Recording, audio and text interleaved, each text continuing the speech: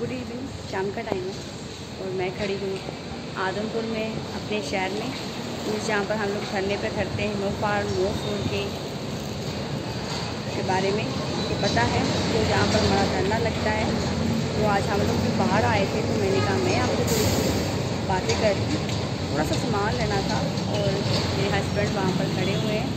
बाकी अभी आ रहे हैं धीरे धीरे आएँगे और छः बजे इनका धरना शुरू हो जाता है। एंड आई होपफुली आप भी इनके सपोर्ट में होंगे। और, जय बार सेफ़ इंडिया छोटी सी वीडियो थी। एंड सब कुछ अच्छा है। आप तो ये आप कैसे हो? क्या कर रहे हो? आई होपफुली आप मज़े में होंगे, ऐश कर रहे होंगे। बस खुश रहो, मुस्कुराते रहो, अपनी ज़िंदगी को जीते रहो एंड लाइफ में कभी हार नहीं माननी चाहिए हमें आगे बढ़ते रहना चाहिए बस आई होप आपको पसंद आएगी मैंने कहा मैं आपसे करूँ थोड़ी गुफ्तु बस thank you so much bye take care thank you bye